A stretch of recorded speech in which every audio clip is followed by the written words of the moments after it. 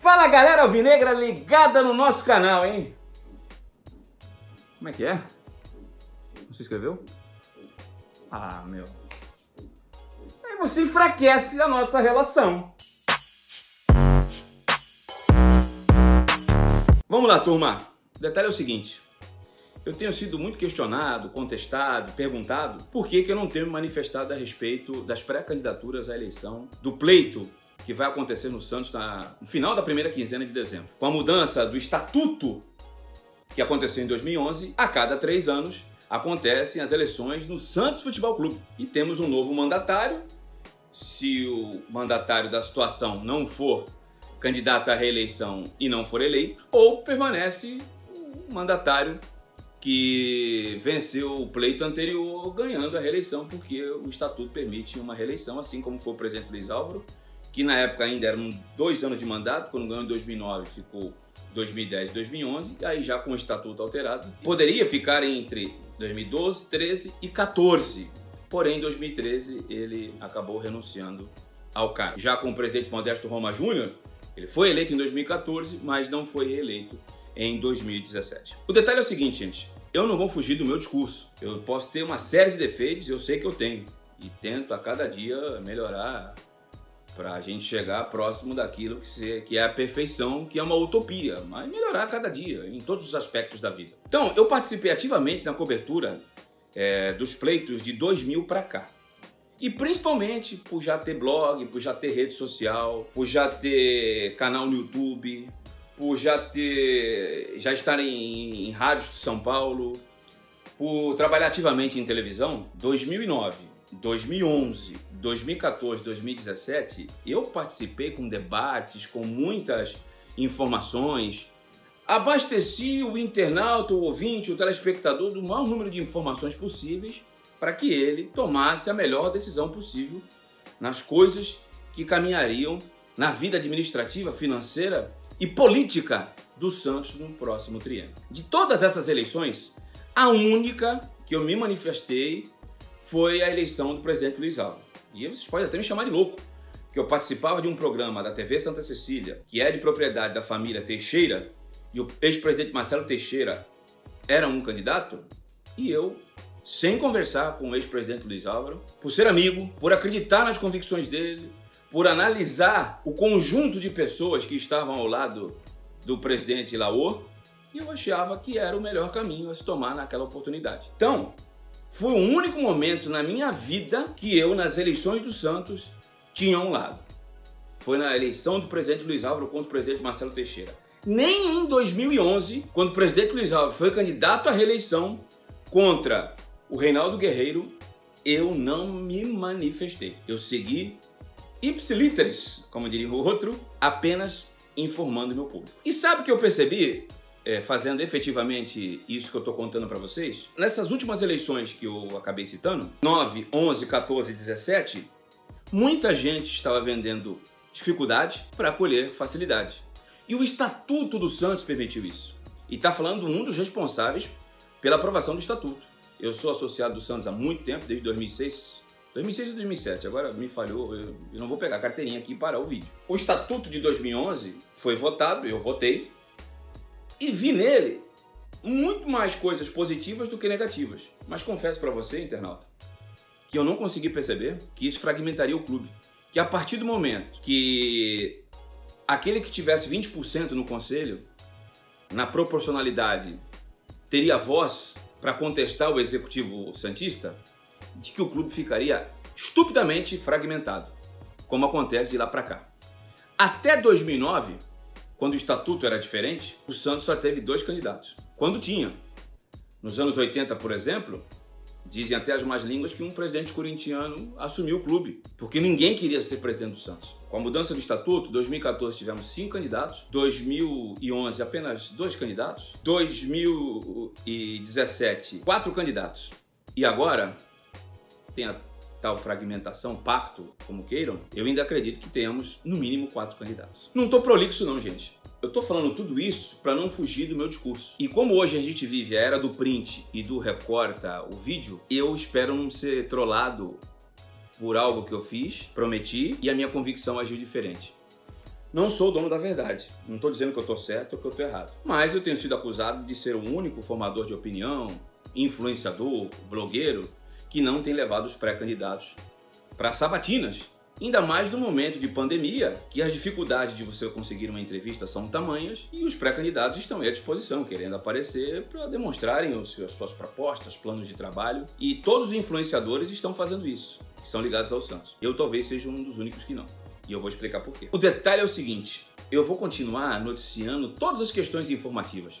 Não tô alheio ao processo, muito pelo contrário. Muito pelo contrário. Tenho a minha opinião formada? Tenho, sim. Mas eu acho que eu construí, graças à empatia que a gente tem, graças à minha fidelidade com você, a minha lealdade com você, a minha identificação com o Santos e também agradeço a vocês, porque se vocês não abraçam essa ideia, eu era apenas mais um, a minha responsabilidade cresceu demais. E é nítido e notório que muita gente espera eu me manifestar para tomar as suas decisões. Então, gente, eu fui chamado por praticamente quase todas as chapas convidado para ser vice-presidente. Eu fui convidado por um grupo de que tinha gente importante, tinha investidores, conselheiros, para ser candidato a presidente.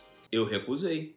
Eu não quis. Me convidaram porque eu sou gordinho, ou porque eu estou emagrecendo, ou porque eu sou moreninho, ou porque eu tenho um sorriso bonito. Absolutamente. Porque sabem da identificação que eu tenho com o torcedor cientista. E eu não vou ser ponte, nem trampolim e nem escada para ninguém, como eu fui na, em algumas dessas eleições que eu citei. Tem muito pré-candidato. Na minha ótica, tem muita gente que tá vendendo dificuldade para colher facilidade. Eu, por tudo que eu conquistei, espero conquistar muito mais ainda com a ajuda de vocês, não vou me permitir ser trampolim de absolutamente ninguém. Então, eu quero deixar bem claro para você, torcedor. Vou noticiar todas as questões informativas, sem opinar. Porra, Demi, teu forte é opinião, nunca ficou em cima do muro. Exato. Mas eu vou opinar. Mas sabe quando? Quando as chapas estiverem devidamente registradas. Vou repetir, hein? Quando as chapas estiverem constituídas, com quase 250 conselheiros, vou repetir, quase 250 conselheiros, devidamente registrados na Secretaria Social, revisadas, não tem problema nenhuma, como sempre fiz de 2009 para cá. Todas, sem exceção, terão o mesmo espaço no, onde eu escrevo, aonde eu falo e aonde eu apareço. No blog que eu faço desde 2009, será do mesmo jeito. Boa parte das entrevistas com as mesmas perguntas, para não dizer que eu favorecia A, A, B, C ou D, com duas ou três questões exclusivas pelas características de diferentes de cada um dos candidatos. E vou um pouquinho mais longe. Com as chapas definidas, enfim, eu vou observar o cenário, vou verificar as alianças, o que cada uma delas tem de bom e que eu me identifico, e aí sim vou manifestar se eu vou declinar o apoio a algum candidato, a alguma chapa, ou se eu vou permanecer como eu permaneci nas últimas eleições. 11, 14, 17, sem me manifestar publicamente para quem eu torço, para quem eu votei e para quem eu acho o melhor é, candidato a presidente do Santos. Ademir, você acertou ao tomar essa atitude nos últimos anos? Não! Acho que na última eu devia ter me posicionado. Acho que no último pleito, se eu tivesse me posicionado, aqui não, não tô querendo ser o. Desculpa, aqui no YouTube dá pra falar isso. Eu não sou o pica das galáxias, não. Mas a diferença do primeiro pro terceiro foi tão pequena que de repente, se eu declinasse um apoio para algum dos candidatos que, que participaram do pleito, talvez mudasse o resultado da eleição. Talvez eu não fosse tão sacaneado como eu fui nos últimos anos. Então, gente, talvez, talvez seja a segunda vez na vida que eu venha me manifestar. Estou sendo bem transparente, bem sincero. Pode pegar o vídeo aí ao longo dos meses que vai ser isso. E vou mais longe. O estatuto fala que você tem que registrar as candidaturas 45 dias antes. Então, começo de novembro é isso, né? Eleição final da primeira quinzena, dia 13, 14. Final de outubro vão ser as chapas inscritas. Lá pro meio de outubro, eu vou definir se eu saio na chapa do conselho. Nunca fui do conselho. Nunca fui. E dou meu nome. Ou simplesmente fico do jeito que eu fiquei nas últimas, ou se declino um apoio sem ter que estar na chapa. Ademir, você vai decidir aos 45 do segundo tempo? Talvez aos 47, se o juiz der um acréscimo maior. Eu, Ademir Quintino, por tudo que eu construí ao longo da carreira, não tenho direito de errar. Não tenho. Eu, de repente, como eu sempre falo do Santos, tenho uma bala só na agulha desse revólver. Tenho que escolher, mirar legal para acertar.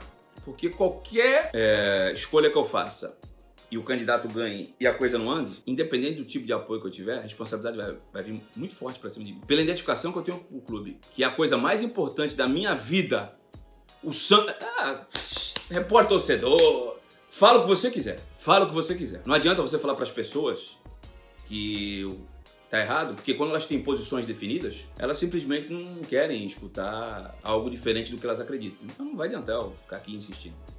Chama do que você quiser. O Santos é, de fato, depois da minha família, aquilo que eu tenho de mais importante na vida. Vou repetir, o Santos é, depois da minha família, o que mais de importante tem na vida. Perdi muito por causa disso. Ganhei, ganhei sim, ganhei, mas ganhei pouco. Talvez se não me manifestasse, ganharia muito mais. Mas não me arrependo, não quero ser diferente. Então é isso, galera. Daqui, hoje, estamos no mês de julho, até outubro, quando as chapas estiver definidas, não me esperem em lives com pré-candidatos.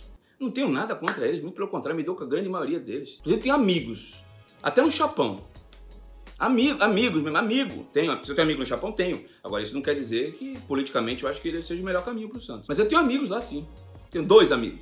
No Japão, que tinha oito, agora tem sete, que o Marinho saiu. Tenho dois amigos. Dois, tá? Dois amigos, amigos. De eu, de eu conversar, de eu acreditar na palavra do cara, de eu achar o cara muito sério. Eu tenho dois. Tenho dois amigos da, daqueles 10 que estavam reunidos, um, que depois eu acrescentei o Marcelinho e o Vassimon, já tô tirando os dois. E tô tirando o Marino, que já fez uma nota dizendo que não é mais candidato pelo Chapão. Vai tentar uma candidatura independente como tava. Daqueles sete, dois são meus amigos, amigos, né? Eu tenho muito respeito, carinho, admiração, e... mas isso não quer dizer que eu ache eles os melhor, a melhor alternativa para o Santos. Pode ser, pode, mas também pode não ser, entendeu? Então, daqui até outubro, por favor, eu só vou fazer o que eu fiz semana passada. Semana passada, antes de sair o vídeo do Nabil, sobre o Japão e qualquer outro veículo de comunicação, o primeiro a informar fui eu. O primeiro a informar que o Japão tinha chegado num consenso, que os oito que estavam reunidos lá, eu não anotei, vai ser tudo de cabeça, hein? É, Celso Jatene, Andrés Rueda, José Renato Quaresma, Rodrigo Marino, Vassimão, Marcelinho Teixeira, José Berenguer, já tem oito, tô faltando dois aí que eu tô esquecendo. Já falei do Rueda, já falei do Quaresma, já falei do Marino, já falei do Jatene, Marcelo Teixeira, tem mais um que não quer ser candidato. E o Nabil Castinadar, então, uns 10 aí. Eu dei informação com exclusividade. Então, eu vou continuar formando. Não dei opinião. O que eu acho do Japão não dei opinião. E, e até porque eu quero entender mais essa, essa postura. Então, qualquer questão informativa, e eu odeio falar de política, hein? Mas que eu achar que mereça destaque, eu vou falar, vou falar. Não me peça opinião até outubro. As chapas registradas, dou opinião que você quiser, torcedor. Então peço para você um pouquinho de compreensão. Eu sei que há uma audiência rotativa, né? Nem todo mundo vai ver esse vídeo, que vão assistir outros vídeos, vão me perguntar, eu vou repetir tudo tudo que eu tô falando agora. Questões informativas, o Ademir Quintino vai seguir informando. Agora mesmo, acabei de escrever um texto aí de mais um candidato. Se eu tivesse alheio ao processo, não, não escreveria. Agora, não me peçam opinião até outubro. Em outubro, eu manifesto se eu vou apoiar alguém e se eu seguirei como nas outras é, eleições. Simplesmente abastecendo você de informações para que Deus te ilumine e ilumine a vida do nosso Santos para que nós possamos fazer a melhor escolha. Fora isso, esquece. Não vou ser trampolim para ninguém. Não vou ser escadinha para ninguém. Não vou ser. É, e fui. E fui. Quem acompanha minha carreira sabe. E fui. Não vou ser escada para aqueles que plantam dificuldades, para colher facilidades, que têm projetos pessoais e não para o clube, é, ganhar espaço naquilo que eu tenho com muito carinho, com muito amor, que é meu canal no YouTube e o blog e as minhas redes sociais. Não. Como diz minha sobrinha, não, não, não, não, não. Não tô dizendo que eu tô certo, tô dizendo que eu tô errado. Deixo você, internauta, julgar. Mas é isso. Acho até que foi prolixo demais. Mas pela nossa empatia, por eu acho que eu devo satisfação para você, torcedor. Eu fiz esse vídeo longo para você entender o porquê que eu tomei essa posição. Não é por nada político, não. Quem sabe, eu odeio falar de política do clube. Odeio. Mas eu acho que ela é necessária. Então, informação, conta comigo. Opinião ou participação para fazer pergunta pré-candidato, quando for candidato, todos terão espaço. Podem me cobrar. Hashtag pronto falei. Tá esperando o quê para se inscrever no canal, cidadão? Se inscreve aí, caramba. Fala que os outros não tem torcida. Os adversários enchem o saco da gente. Hã? E eu tenho resposta para eles. Eu falo que nem todo mundo tem acesso ao esclarecimento e nem todo mundo faz as melhores escolhas e é inteligente, né? Mas para acabar com esse discurso, se inscreve aí, pra acabar com esse negócio. Ah, a TV tal não fala da gente. Não fala, vem pra cá. Mas a gente tem que valorizar quem fala da gente. Tá bom? Abração, fica com Deus. Beijo do ex-gordo. Tô emagrecendo, hein? Tô ficando bonito. Tchau.